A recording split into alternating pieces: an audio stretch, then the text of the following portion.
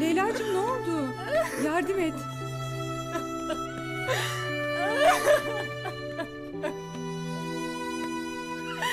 Geçti canım geçti tamam sakin ol. Aynur hemşireye söyle ilaçlarını göndersin çabuk.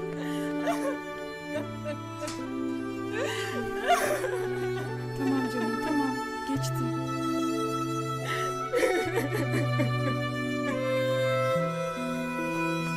Bakar mısın? Gitmiş beni Yaman Bey'e sormuş Ayşe ilk girdiğim zaman. Öğrenmeyeceğimi sandı herhalde. Yaman Bey uyanık tabii. Şu iki günde anladı durumu. Sordu Levent Bey'le aranızda bir şey var mı diye. Hala tavır yapıyor aptal. Kendini geri çekiyor sözde. Deli oluyor aslında. Sırf beni kanırtmak için yapıyor biliyorum. Zavallı Aslı da kendi zaferi zannediyor aptal. Aslı aptal değil bence. Politik davranıyor. Ne var? Sen onun yerinde olsan mücadele etmez misin? O da aşkı için savaşıyor işte. Aşkını sevsinler. Bakıyorum toz kondurmuyorsun sevgili patronuna. Ne diyeyim?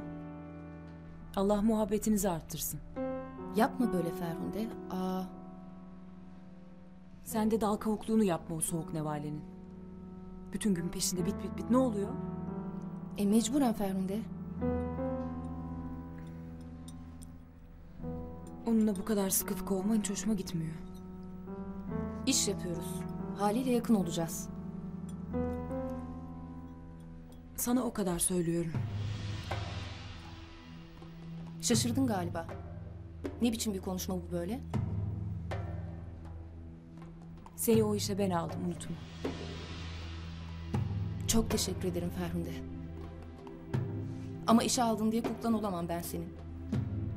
Senin istediğin gibi davranamam kusura bakma. Bak bak. Aslı Hanım'ı arkana alınca böyle mi oldu? Ne diyorsun sen ya? Bir şey demiyorum tamam. İstediğin kadar pohpohla patronunu. Yılış sırtını sıvazla. Ferhunde saçmalıyorsun. Yalan mı? Ona kendini beğendireceksin diye sattın beni.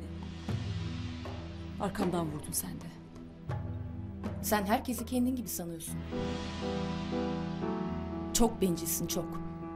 Herkes senin olsun, her şey sana hizmet etsin istiyorsun. Şımarıklık bu yaptın vallahi yeter artık. Dökül bakalım. Neler saklıyormuşsun da haberimiz yokmuş.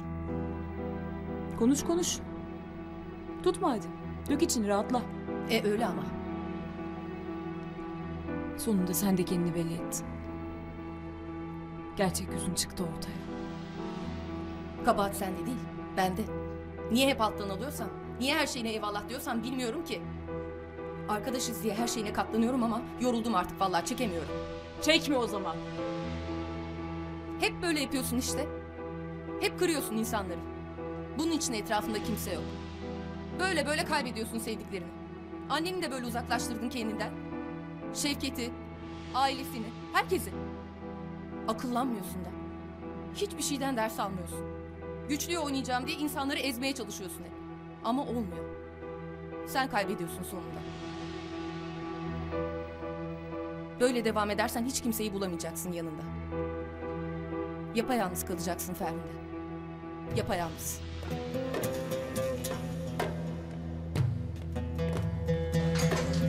Gülşen. Gülşen dur.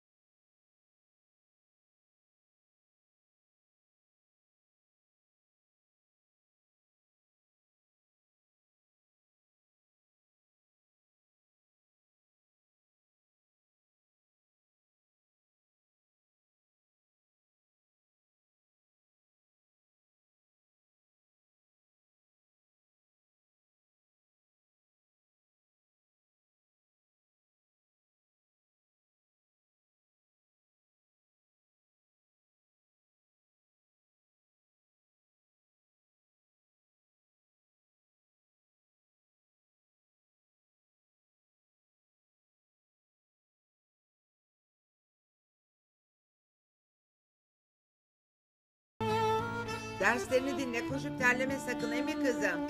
Kime diyorum Ayşe? Günaydın. Günaydın. Günaydın.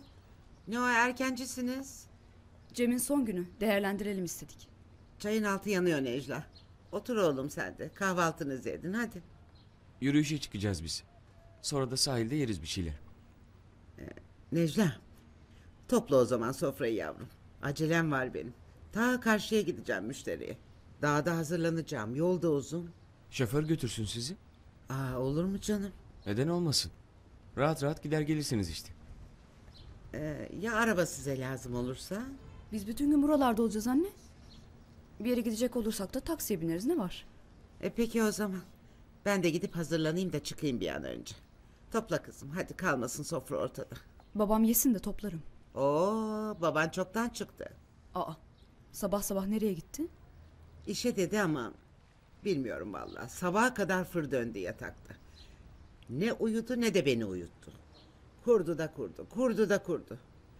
İnşallah söylediği şeyi yapmaya gitmemiştir. Ferhunde'ye mi gitti diyorsun yani? Bilmiyorum. Hadi geç kalmayayım ben hazırlanayım hadi kızım.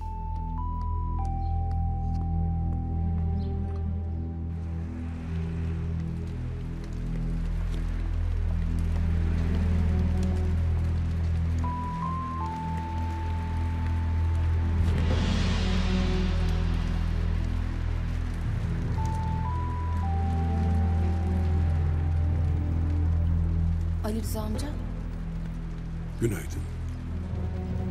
günaydın. Siz de mi burada çalışıyorsunuz? Evet. Bankadan istifa ettim.